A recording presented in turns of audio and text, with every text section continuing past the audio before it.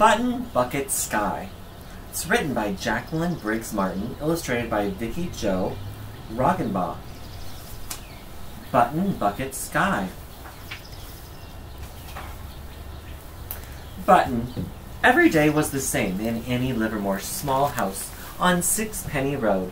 She ate chicken soup. She mended her clothes with thread and buttons, dusted the chairs and the old piano. The best part of each day came when Annie and her cat Hector sat outside under the big oak tree.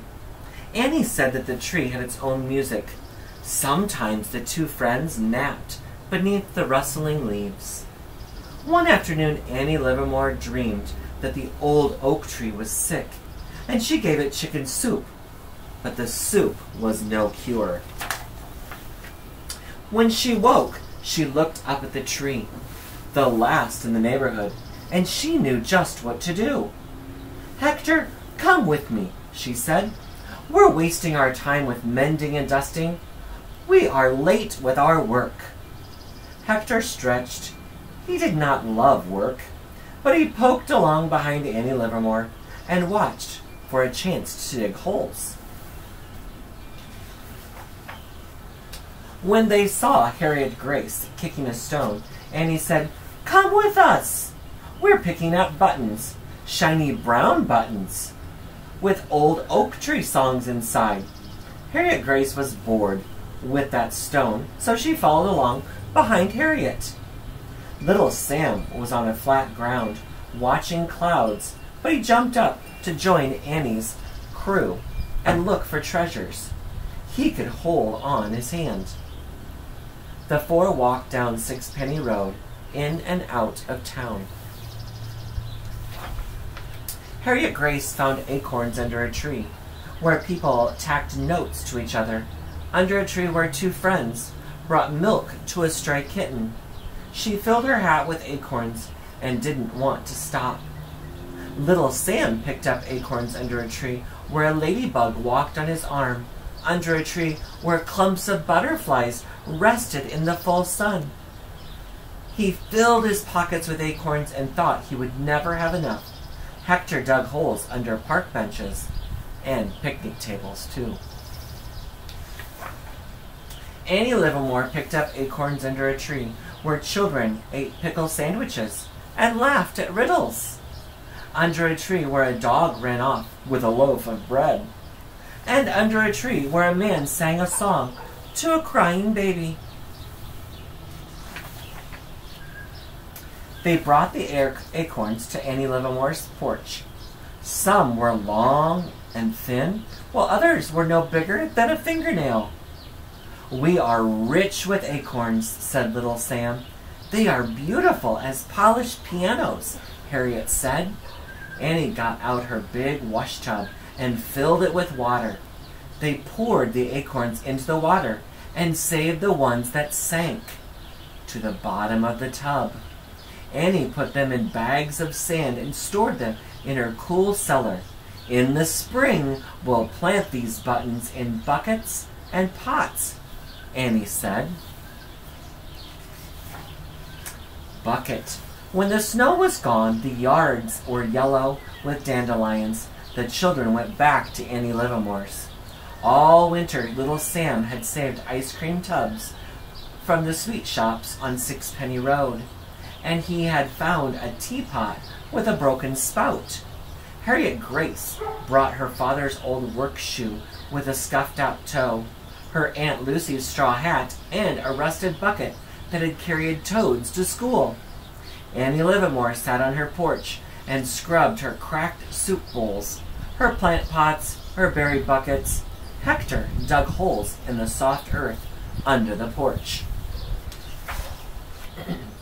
The friends put soil in all of their tubs, buckets, and bowls, even the shoe. They dropped acorns in each one and added more soil. After a few weeks, the tree seeds sprouted tiny shoots. Harriet Grace saw the shoots, looked like toothpicks, and wondered if they would even grow.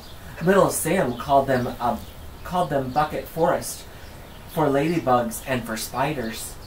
In the fall, they set the buckets and the pots and other plants in the ground and covered them with leaves and grass.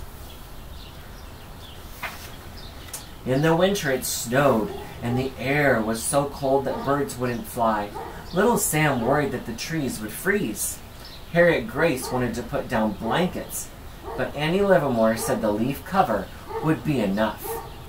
And in the spring, when they raked away the leaves and the grass, they found tiny trees.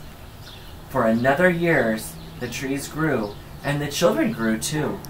Harriet Grace climbed an apple tree and called herself a giant. She watered the trees and told them stories. Little Sam built birdhouses and bird feeders. He gave the trees plant food and sang songs to them. Sky. In the third spring, Annie Livermore said, It's time to plant our trees. So Annie, Harriet Grace, Little Sam, and Hector walked along Sixpenny Road, looking for places where oak trees could grow. Hector dug all the holes. Little Sam planted trees where there were neighbors to carry water, water in jelly jars, where people would go out in slippers in the early morning to see if the tree had grown. Harriet Grace planted oak trees in, lo- in lonely places that needed songs of tree hopping birds, in noisy places that needed trees to quiet the bustle of cars and trucks. Annie Livermore and Hector planted trees where children would roll and run and carry acorns home in their pockets, and in places where people would come with cousins and picnic baskets.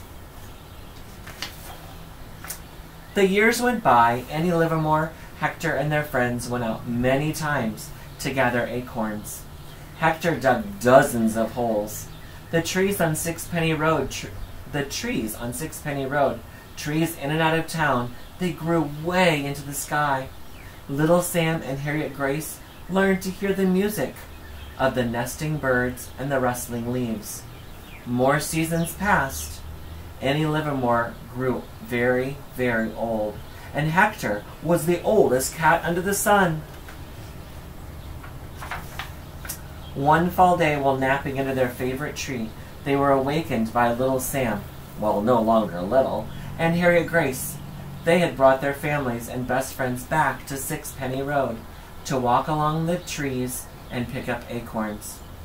These are buttons with oak tree songs inside, they said. We will plant them and wait to hear the music of trees. Annie Livermore smiled, and so did the oldest cat under the sun.